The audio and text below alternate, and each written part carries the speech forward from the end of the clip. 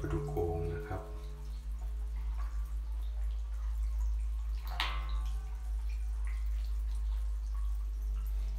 แล้วก็เอา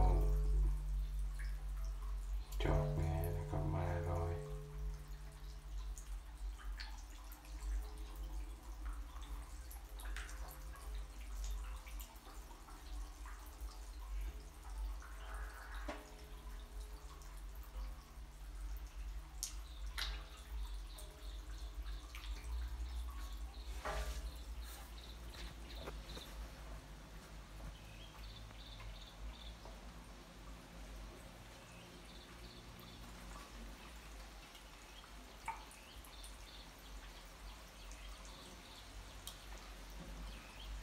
เลี้ยงมาตั้งแต่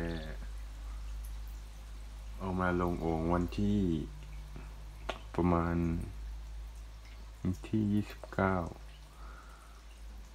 พฤศจิกายนครับ วันนี้วันที่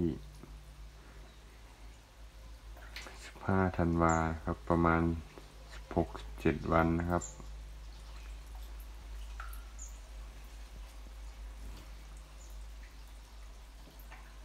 แต่ อายุนี่ก็น่าจะเดือนกว่าแล้วนะ